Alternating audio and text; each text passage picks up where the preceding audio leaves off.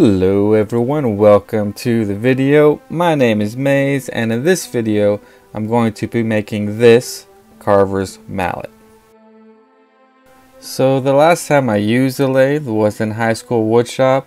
So this is really my first ever lathe project and this video is going to be a, about me learning to use the lathe as much as how to make a mallet.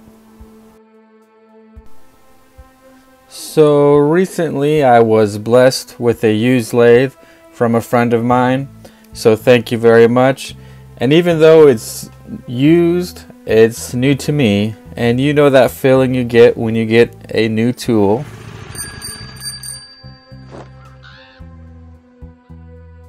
So I had to make something with it immediately but it needed to be simple as well as something that would allow me to practice the skills needed to get better at it.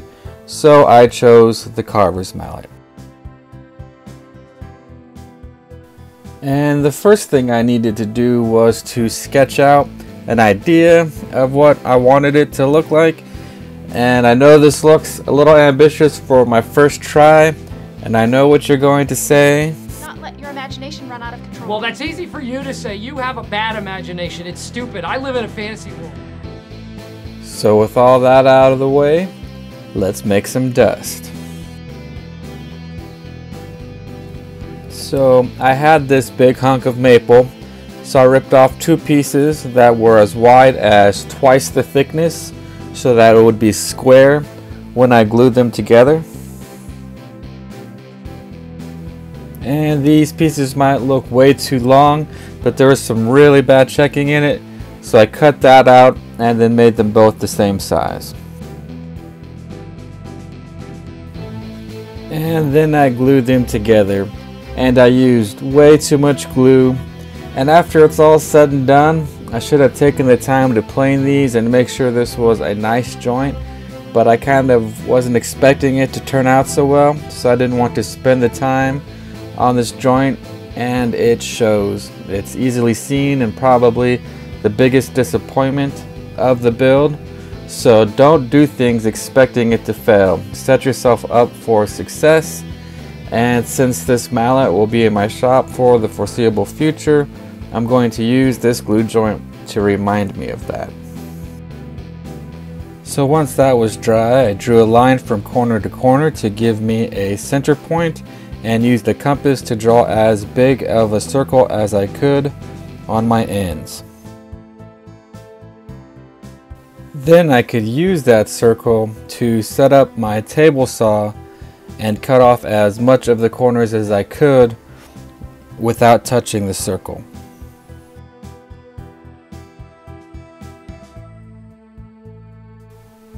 And then I was able to put it in my lathe.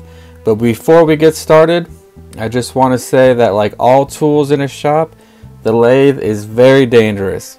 And whenever I'm working around tools, I always keep one rule in mind. Whenever I'm about to do something, I think, would an idiot do that? And if they would, I do not do that thing.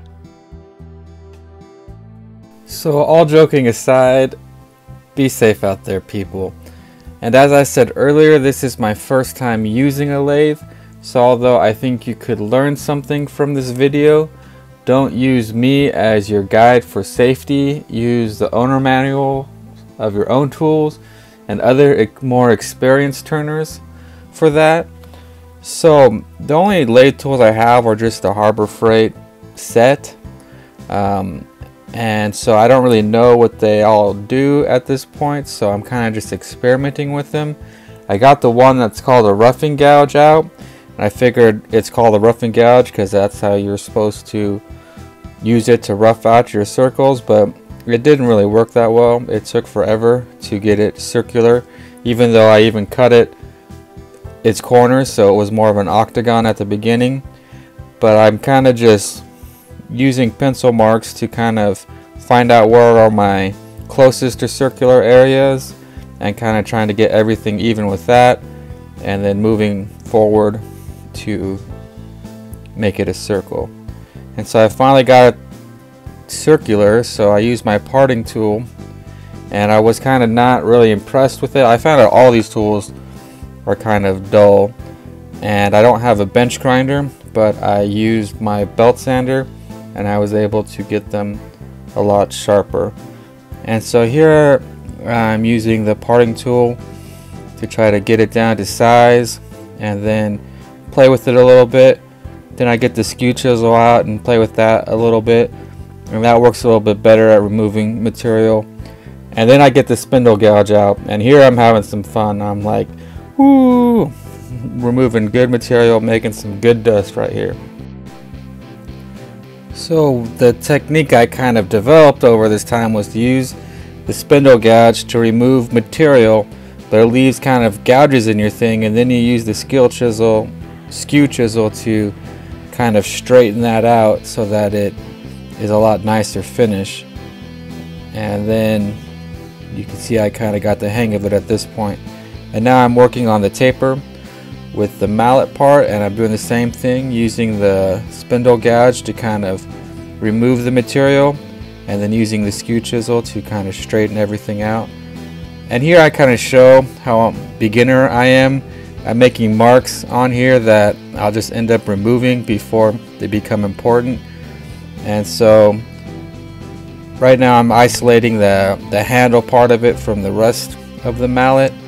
And here I'm actually spending time practicing. I'm not going straight to depth. I'm kind of going down with the parting tool to a certain depth and then trying different ways of straightening it out. I use the skew chisel to kind of remove material and then or the roughing gouge to remove material and use the skew chisel to straighten it out and I use kind of different combinations of the different tools to kind of see what worked best but the spindle gouge to remove material and then the skew chisel to clean it up kind of ended up being the best one.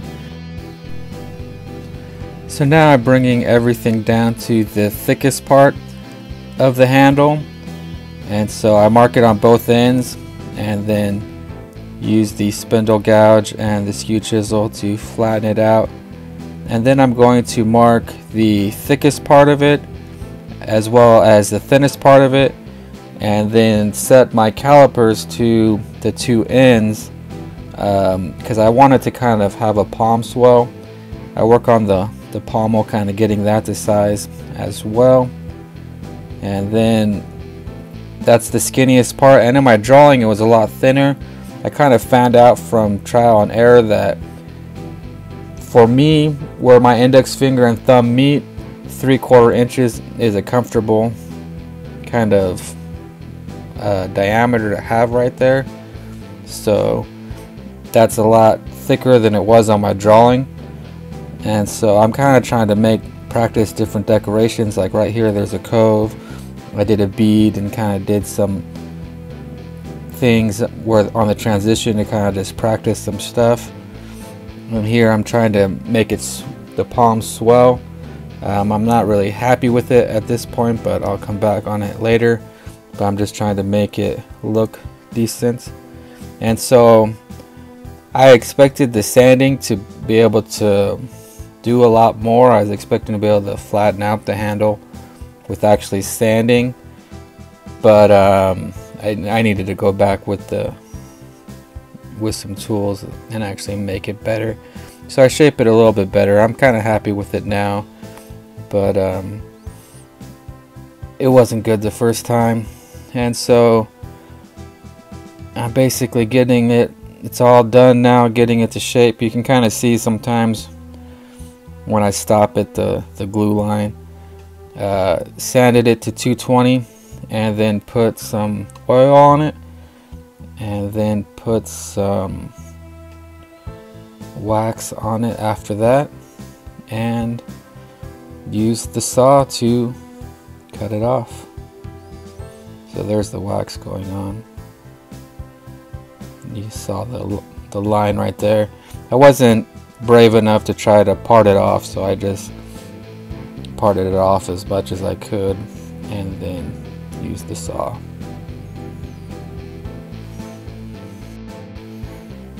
So let's rewind it real quick just to see how close I got to my original drawing.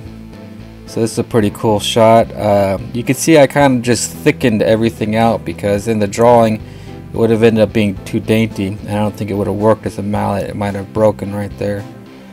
And then I domed off the pommel on the belt sander. And then sanded everything, all the saw marks away, and put oil and wax on those parts. And here it is all done. All in all, I think this is a great first project to do on a lathe. It can even be simplified a bit in the design to make it even easier and you get to practice a lot of beginner techniques. So I'm quite happy with this and plan on using this for a lot of my carving from now on. And that's the video. Thank you very much for watching.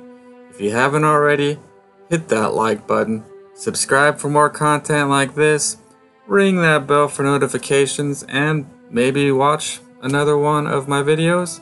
Uh, you can follow me on Instagram if you want to see more of my work or some sneak peeks. And stay tuned for my website, which I'm currently building. So thanks for watching. And don't forget, support your local craftsmen or get out in your workshops and make your own dust. And together, we can make making great again.